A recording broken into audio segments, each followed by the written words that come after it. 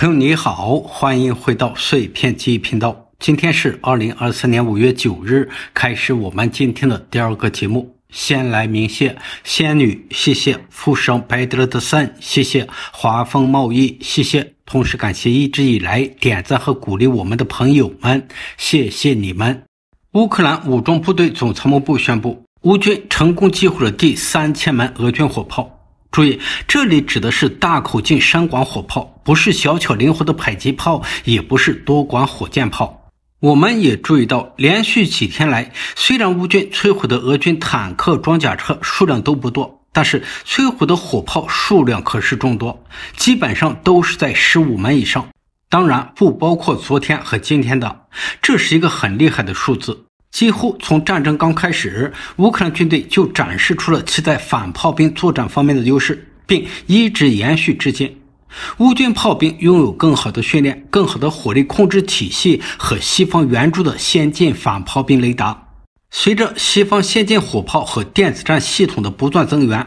乌军炮兵在火炮和弹药不足的情况下，依然能够依靠精确的反应速度等优势，在与俄军炮兵的对战中占据一定优势。从我们看到的那么多图像素材来判断，俄军火炮大多都是被乌军反炮兵雷达精准定位后，由乌军炮兵装备的远程火炮发射精准制导炮弹或常规炮弹加以摧毁。相比之下，乌军损失的火炮。绝大多数都是被柳叶刀巡飞弹击毁的，这当中有 M777，有 D30，甚至有螃蟹 M109，疑似还有一门 PZH 两千。应该说，柳叶刀是俄军在本次战争中为数不多的亮眼武器。俄军可能围绕珍贵的柳叶刀制定了一整套的打法。每当乌军高价值目标被俄军无人机或前线观察员发现后，俄军总是喜欢选择柳叶刀来完成这一击，这多半不是因为柳叶刀具备特别强大的毁伤力，因为其装药量仅有三百到一千克，远低于俄军榴弹炮几公斤的装药量，而是俄军山管火炮由于射程和精度的关系，实在是打不到也打不准乌军高价值目标。不过，随着柳叶刀的肆虐，乌军越来越重视对其进行防范。包括炮兵，无论牵引火炮还是自行火炮，现在都普遍加装钢丝网。只要不是支撑杆出问题，柳叶刀对乌军火炮等重装备就缺乏足够杀伤力了。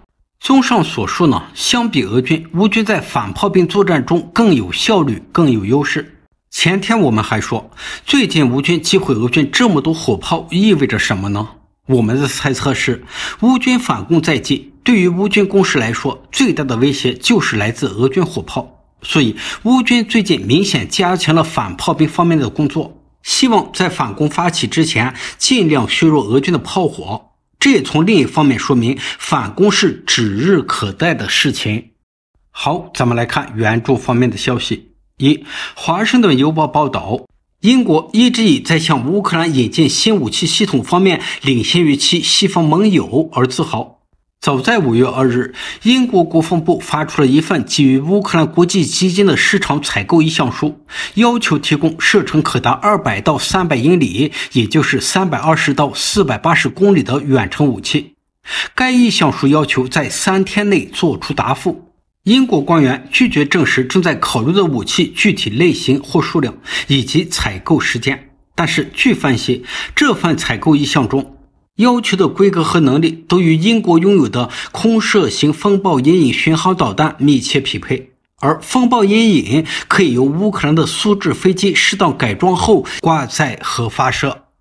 不过呢，这事啊，我们倒没有那么的乐观，因为英国今年二月就曾说，他们将是率先提供远程武器给乌克兰的国家。说实话，当时我们是很激动，原因呢在于乌克兰非常需要远程火力。海老师上课点名太严，很多俄罗斯学生因为害怕上海老师的课，已经自觉把弹药库、油料库和指挥所搬到了海老师的打击半径八十公里以外，这就导致海老师经常没课可上。所以，正如乌克兰国防部长列兹尼科夫所言，乌克兰需要射程更远的武器，用来让俄军的后勤困难雪上加霜。但是现在都五月初了。英国说的远程武器还是没影，我们多少还是有点难过。就比如这风暴阴影巡航导弹，去年八月、九月和十月分别有马上将要提供给乌克兰的传闻，但是到现在还没有正式浮出水面，确实让人沮丧。二，网络图片显示，乌克兰武装部队收到了第一批以色列制造的低空预警雷达，与超短程防空系统配合之后，可以有效防卫多种低空威胁。比如无人机、制空弹药、火箭弹、火炮和迫击炮。据防卫部落格报道，五月五日，网络媒体传出蒙面乌克兰军人与多任务雷达的合照，立即引起各界讨论。据介绍，该系统是由以色列浪达电子工业公司开发制造，这是一种 S 波段脉冲多普勒雷达，采用时下最流行的氮化镓放大器，结合主动相控阵天线。可以灵敏地发现低空威胁物，却又不会被杂波所干扰。不具名的乌克兰操作员表示，新雷达将可进行空中监视、探测和追踪，确保雷达预警范围内的安全。据乌克兰军情的说法，以色列提供给乌克兰十六台多任务雷达，第一批的三台已经运抵。值得一提的是，这批雷达是群众集资购买的。今年一月三十日，立陶宛开始发起名为“拉德隆”的筹款活动，目标就是帮助乌克兰购买社区预警雷达。主要的工程是立陶宛民间社团和媒体公司。三，美国承诺向乌克兰交付十八门 M 一零九 A 六圣骑士自行榴弹炮，他们已经在这里了。一些图片和视频表明，他们确实已经出现在乌克兰战场，但目前似乎还没有投入战斗。或许他们会在反攻中辅佐装甲矛头撕开俄罗斯防线。四，拜登政府打算在当地时间今天宣布向乌克兰提供价值超过十亿美元的新的一揽子军事援助，具体内容清单稍后我们就会知道了。好，咱们就继续来说说俄罗斯从被占领的乌克兰领土上撤退的消息。俄罗斯占领军从斯卡多夫斯克和赫松地区的几个村庄撤离。乌克兰任命的梅利托波尔市长费多罗夫表示，俄罗斯人开始离开被占领的梅利托波尔行政大楼，并关闭商店。他们大多撤往克里米亚。由于撤离行动很仓促，从梅利托波尔到克里米亚的道路上已经出现车龙，检查站前排起了长队。梅利托波尔自去年二月以来一直被俄罗斯占领。费多罗夫在占领时期一度被俄罗斯军队绑架。他坚持不与俄军合作，俄罗斯方面呢，则指派了另一位亲俄代理市长丹尼尔钦科。费德罗夫在很长一段时间里坚持披露被占领的梅利托波尔和周边地区的军事和行政信息。从地图上来看，俄军撤离的是南部前线供给不太容易的地方，包括托克马克在内，都是紧靠前线，而且供给最为偏远的地点。或者呢，是一旦乌军反攻，极易被切断供给线的地方，在这些地方，一旦供给被切断，很容易就造成成建制的俄军投降，那对俄军来说可是很丢脸的事。与其这样，还不如先把这些地方的俄军撤出来。另外，亲俄势力撤离可能是由于前车之鉴。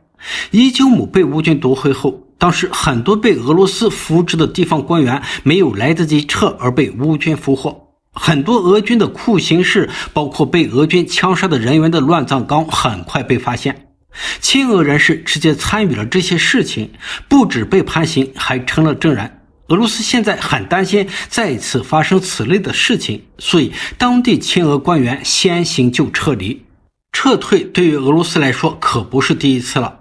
去年九月初，俄罗斯西部军区在库皮扬斯克丢了之后，仓促撤出伊九姆，为此丢了几百辆坦克和装甲车，还被抓了一位将军。这是乌克兰国防部长列兹尼科夫前几天刚透露的。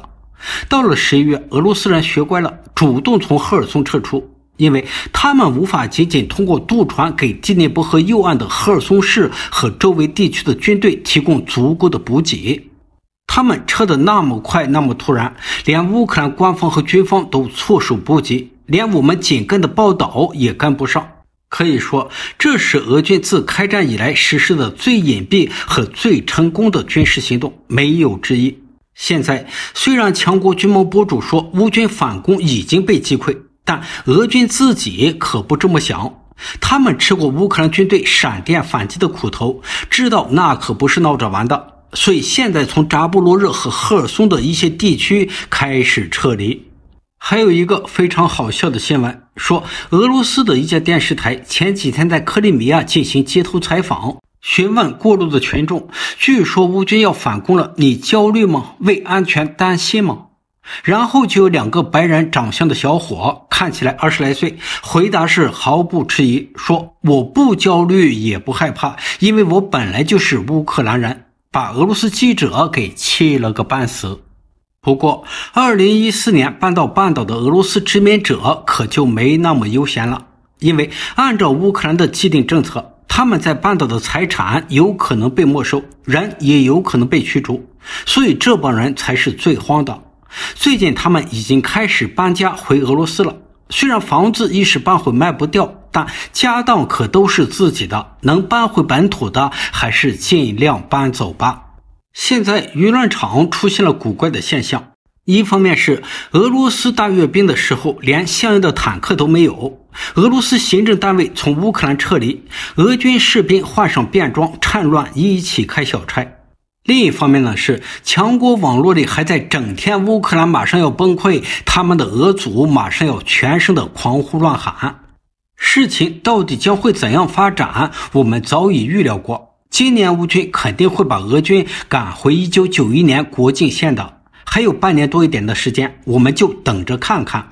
我们坚信道义一定会取得辉煌的全胜。